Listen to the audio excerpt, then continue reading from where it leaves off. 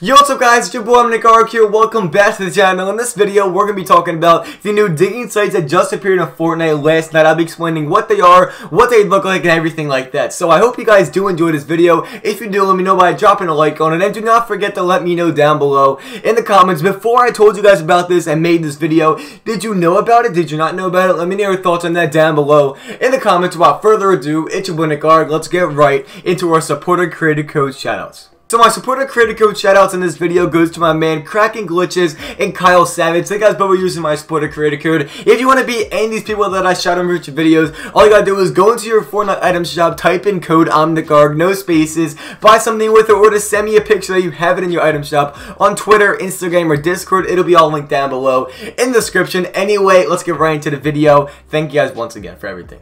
Alrighty guys, so first off, I'm going to show you guys what these digging sites actually look like. So as you can see on screen right now, here's what the trucks look like when the update dropped yesterday. And last night, they actually made a huge change and created the digging site that you guys can see on screen right now.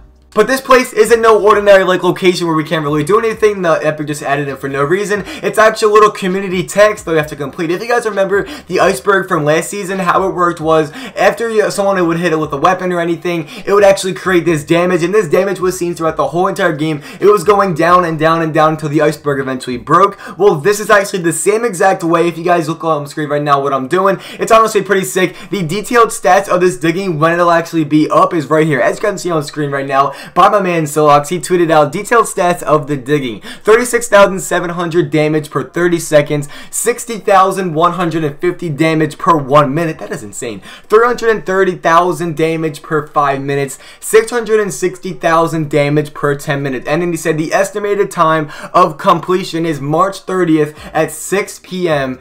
PST.